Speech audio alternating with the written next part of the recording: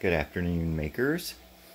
So, posted a few videos about my Prusa Mark III and MMU 20S, which I finally got and installed a little over a month ago.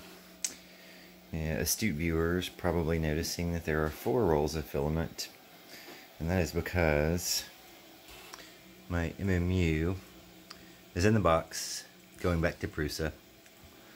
I have given up on it um, after hours and hours of failed prints, um, MMU selector disagreeing with the um, other part of the MMU on which filament was loaded, wasting probably almost an entire spool of filament um, over the span of a month, and just generally uh, this overwhelming feeling that I had spent three or so hundred dollars screwing up the uh, most perfect printer I've ever owned, which is the Mark III.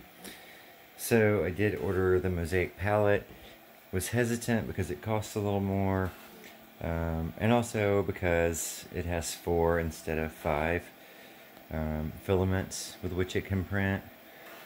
But I gotta tell you, so this is this is my third print. This is my first really large print. Um, here in a minute I'll uh, get the first and second calibration prints. So it's just a brilliant design. Um, the thing is so easy to load. It's a bit more polished. Um, I really love, and I'll post a more in-depth review of the palette um, at some point soon. By the way, sorry my makerspace is a mess, but you can actually pop the cover off and see this thing working. It is, um, it is beautiful in its simplicity or simple in its beauty, however you want to put it. Um, but on the two calibration prints I've printed so far, I found the um, the splicing and the color transitions to be perfect. The other thing is, from the printer's perspective, and, and again, my makerspace is a wreck because I just installed this day before yesterday, so I've still got the janky LED strips hanging up. I'll be fixing that very soon. Um, so as far as the Mark III is concerned, there is one continuous strand of filament coming to it. So, you know, infinitely fewer opportunities for prints to get messed up because you're not doing the uh, tool change every layer. There's no uh, there is a purge block which is customizable with the palette too. But you're not doing um, cooldowns and ramming and retracts and reloads during your wipe. So the thing just prints um, and it you know it's printing. I'm actually my white color I'm printing a model off of Thingiverse. It's a four color Winterfell from Game of Thrones. Um, my white filament is it's like a really cheap um, old roll uh, that is kind of stuck together so I've had to unspool it a bit. But it's still you know it's printing beautifully. It's printing the way that my Mark III did when I first took it out of the box um, in February. So I'm really really happy to have my printer back. And so far just delighted with the palette.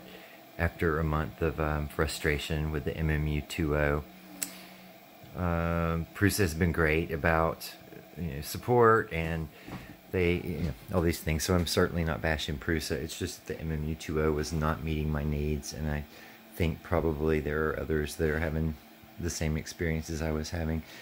The other thing I love about this palette is you'll see on the right side of my space.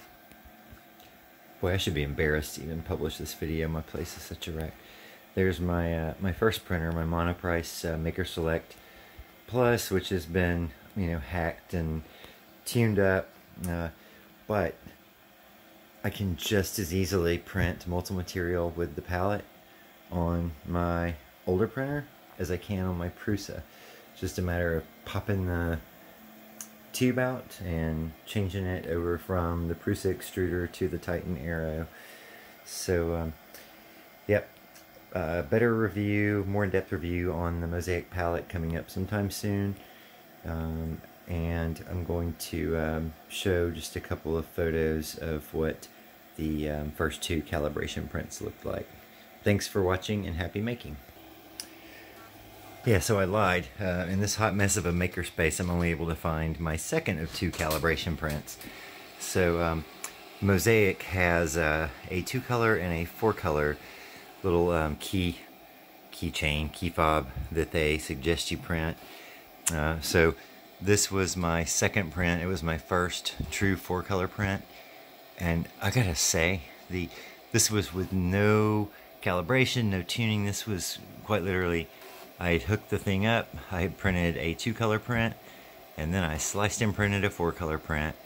And um, it's really hard to find any fault with the color transition. It's, it, it's probably as near perfect as you can get with FDM. Uh, this is a look at the the purge and wipe block, which actually is kind of cool looking itself. I, uh, it's probably just that I'm still very thrilled to have a printer that works again, but I can't bring myself to throw this little thing away because it's so pretty. Um, yeah, so uh, thanks again for watching. Have a good day.